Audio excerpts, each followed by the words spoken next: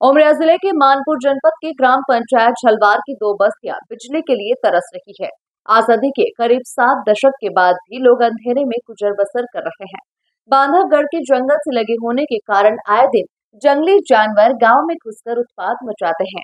अभी तक कई लोगों की जान भी जा चुकी है, फिर भी गाँव में बिजली नहीं पहुँच पा रही। देखिए खास रिपोर्ट। उमरिया ज़िले के ग्राम पंचायत झलवार के सैकड़ों की तादाद में ग्रामीण कलेक्ट्रेट कार्यालय पहुँचे और कलेक्टर को आवेदन में ग्रामीणों ने बताया कि ग्राम पंचायत झलवार के अन्य इलाके में बिजली उपलब्ध है, मगर दो टोलों में बिजली आज तक नहीं पहुँच पाई। यह इलाका बांधवगढ़ टाइगर रिज़र्व से सटा हुआ है। और यही कारण है कि बाघ सहित जंगली हाथी अक्सर जंगल से यहाँ पर भटक कर पहुँच जाते हैं। वे न सिर्फ़ खेत में खड़ी फ़सल बर्बाद करते हैं बल्कि घरों में घुसकर इंसानों में हमले की घटना भी कर चुके हैं। अभी तक ग्रामीणों ने ग्राम पंचायत से लेकर जिला पंचायत व अन्य सभी दफ्तरों में अपनी फरियाद लगाई। साल दर साल सिर्फ़ आश्वासन ही हाथ लगा आ, हम लोग लाइट से संबंधित आए हैं यहाँ कलेक्टर साहब के पास। और अपनी समस्याओं को सॉल्व करवाने के लिए आए हैं। लाइट दो मोहल्ले हैं सर। वहाँ पर लाइट ही नहीं है सोहाग टोला और बकुलहर टोला। साठ से सत्तर साल से वहाँ निवास कर रहे हैं अभी तक लाइट ही नहीं है वहाँ पर। और बच्चों के भविष्य में भी थोड़ी सी रुकावट आ रही है क्योंकि लाइट नहीं है तो लो, बच्चे लोग कहाँ से पढ़ेंगे सर? और ये बांधवगढ़ रिसोर्ट टाइगर रिसोर्ट भी है तो वहाँ पर जनहानि भी हो चुकी है इसके पहले।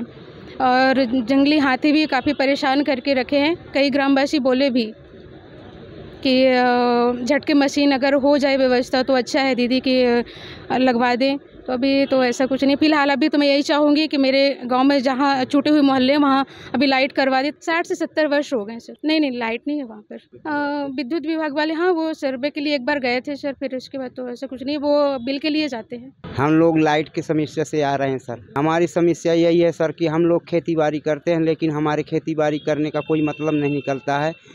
अनाज, जैसे बारिश हुआ, बारिश होने के बाद में आप बारिश चूक जाती है तो हमारा पूरा सारा अनाज सूख जाता है। ना हमको इस रबी में, न उन्हारी के समय में मिलता, ना धान के समय में मिलता। कोई मतलब हमको फ़सल भी नहीं मिलती है। ना हमारी कोई व्यवस्था, ना हमारी कोई सुविधा है। यहाँ तक कि जानवर जो है, टाइगर हमारे, हम लोगों के घर में घुस करके और हम लोगों के मतलब ये है कि जानवरों को खा भी जाते हैं लोग कि हमारी कोई व्यवस्था नहीं होती है, ना वहाँ कोई हमारी व्यवस्था कर रहा है ना कोई हमारी व्यवस्था को सुन रहा। अब ये है कि ये सब लोग, हम लोग अपने में सम्मिलित करके सोचे कि हम तो अब गाँव वालों से और से अधिकारी, कर्मचारी से सबसे निवेदन कर चुके हैं, लेकिन हमारी निवेदन को कोई नहीं सुनता है। तो इसके लिए चलें, कलेक्टर साहब के पास अपनी निवेदन सुनाते हैं। शायद हो सकता है कि वो हमारी समस्या को सुन लें। ग्रामीणों ने बताया कि बिजली न होने से खेती सूख जाती है, बच्चों की पढ़ाई नहीं हो पाती। अपने बिजली संबंधित मोबाइल चार्जिंग से लेकर अन्य छुटपुट कार्य के लिए कई किलोमीटर दूर जाकर दूसरे गाँव में निर्भर रहना पड़ता है।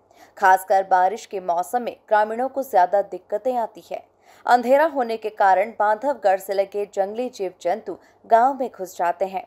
अभी तक कई बार ग्रामीणों पर जानलेवा हमला भी हो चुका है।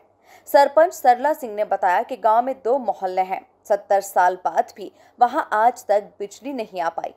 बांधवगढ़ के चलते जंगली जानवरों का खतरा बना रहता है। Bureau report, MP news, Umaria.